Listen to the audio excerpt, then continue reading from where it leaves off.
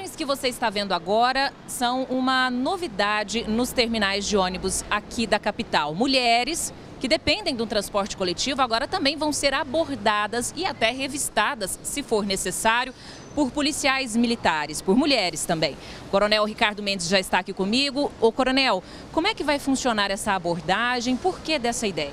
Bom, na verdade o batalhão de terminal já é uma ideia, onde é um exemplo para segurança pública de todo o Brasil, onde nós conseguimos reduzir os índices de criminalidade por mais de 70% e com certeza a, a participação hoje infelizmente crescendo de mulheres no mundo do crime, se fez necessário essa implementação do mesmo gênero para que nós possamos duas situações. Primeiro delas, caso haja necessidade, além do estado de suspeição, abordar, realizar uma busca minuciosa, nós temos essas policiais preparadas para isso, em condições.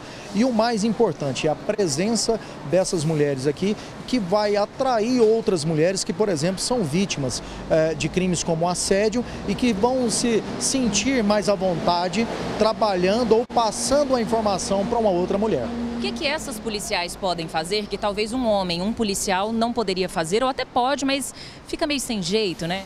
É claro, é, nós temos condições hoje, como eu disse anteriormente, caso haja uma, uma necessidade de uma busca mais minuciosa, essa policial militar ela está preparada, conduzindo essa outra mulher em um local adequado para realizar essa busca. Esse é o primordial.